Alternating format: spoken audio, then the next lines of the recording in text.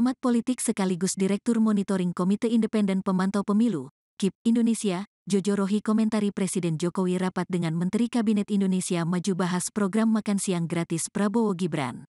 Menurut Jojo rapat tersebut tak menghormati proses berjenjang perhitungan Pilpres 2024 oleh KPU.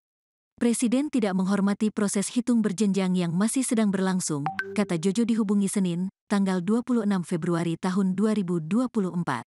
Selain itu dikatakan Jojo, semestinya KPU dapat mengeluarkan statement untuk semua pihak agar menghormati proses yang masih mereka lakukan.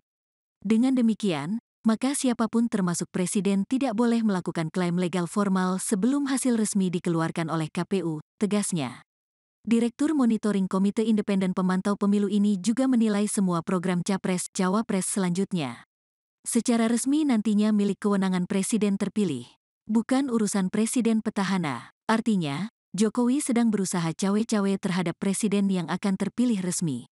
Prabowo atau siapa pun presiden terpilih nanti, seharusnya tersinggung, tegasnya. Diberitakan sebelumnya Presiden Joko Widodo, Jokowi, menggelar sidang paripurna kabinet di Istana Negara, Jakarta, Senin, tanggal 26 Februari tahun 2024. Rapat dengan seluruh Menteri Kabinet Indonesia Maju, Kim, tersebut salah satunya membahas program makan siang gratis dari pasangan Capres-Cawapres Prabowo Gibran. Membahas tentang program-program prioritas Pak Prabowo termasuk di dalamnya adalah makan siang tahap awal, kata Menteri Investasi Bahlil Lahadalia di Istana Kepresidenan, Jakarta. Bahlil mengatakan secara umum program prioritas Prabowo Gibran akan diakomodir pada pembahasan APBN 2025. Pasalnya yang akan menjalankan APBN tersebut nantinya adalah Prabowo Gibran. Ia harus mengakomodir dong, harus mengakomodir yang menjadi program prioritas Pak Prabowo Gibran. Karena ini kan kita bahas APBN 2025 kalau kita bahas APBN 2025 presidennya kan sudah Pak Prabowo dan Mas Gibran. Jadi pasti, katanya. Bahlil mengatakan pembahasan program makan siang Prabowo Gibran tersebut bukan bermaksud untuk mendahului hasil penghitungan resmi KPU. Pemerintah hanya melakukan simulasi seraya menunggu pengumuman resmi KPU mengenai pemenang Pilpres 2024. Enggak kita kan buat rencana aja. Kita tunggu sampai penetapan KPU. Ini rancangan, simulasi, tahap awal enggak apa-apa, ujarnya.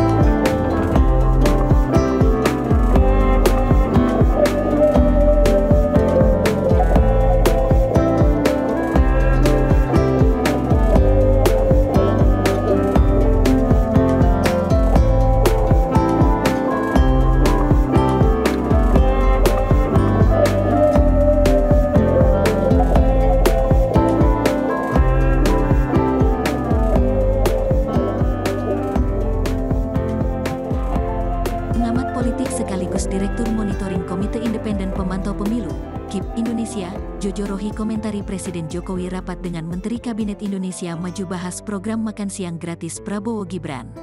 Menurut Jojo rapat tersebut tak menghormati proses berjenjang perhitungan Pilpres 2024 oleh KPU. Presiden tidak menghormati proses hitung berjenjang yang masih sedang berlangsung, kata Jojo dihubungi Senin, tanggal 26 Februari tahun 2024.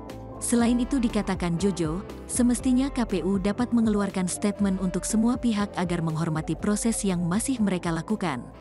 Dengan demikian, maka siapa pun termasuk presiden tidak boleh melakukan klaim legal formal sebelum hasil resmi dikeluarkan oleh KPU, tegasnya. Direktur Monitoring Komite Independen Pemantau Pemilu ini juga menilai semua program Capres-Cawapres selanjutnya. Secara resmi nantinya milik kewenangan presiden terpilih. Bukan urusan presiden petahana. Artinya, Jokowi sedang berusaha cawe-cawe terhadap presiden yang akan terpilih resmi. Prabowo atau siapa pun presiden terpilih nanti, seharusnya tersinggung, tegasnya.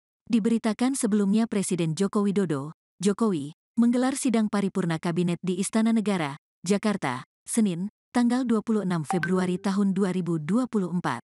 Rapat dengan seluruh Menteri Kabinet Indonesia Maju, Kim, tersebut salah satunya membahas program makan siang gratis dari pasangan Capres-Cawapres Prabowo Gibran.